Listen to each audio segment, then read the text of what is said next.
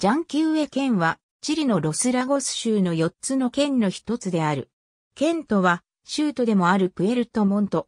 チリで2番目に大きな湖、ジャンキュエ湖は、オソルノ、カルブコ、プンティアグド、セロトロナドールの4つの火山と同様に、州に位置している。ジャンキウエへのヨーロッパ人の定住は、ドイツ人がチリ南部への移住を奨励された1852年に始まった。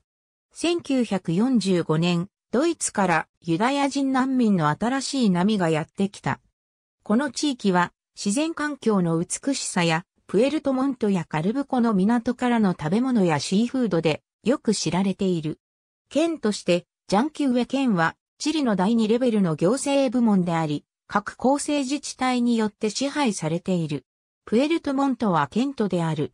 県知事はチリ大統領が任命したフランシスコル・ブレトン。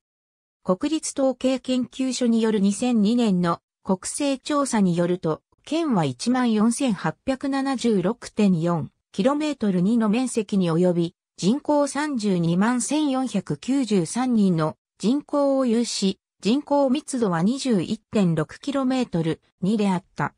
このうち23万2962人都市部に住んでおり、88,531人農村部で、